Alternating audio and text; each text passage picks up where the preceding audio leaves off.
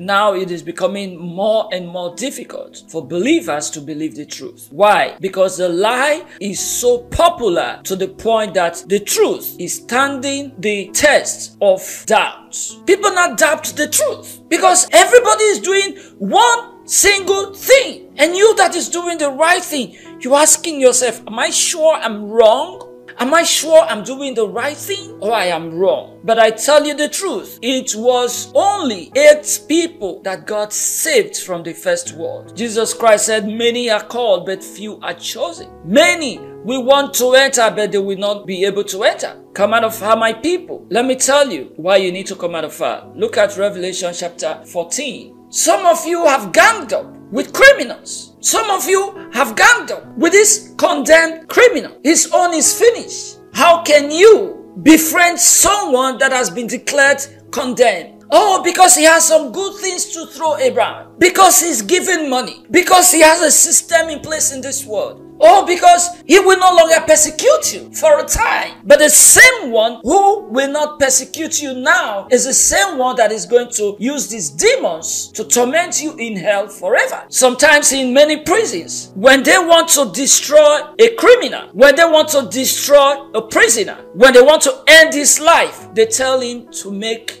his last request. Some would say, I want to eat my best meal before I leave. Some would say, I just want to have a day for myself. Let me think about my life. I don't want to eat.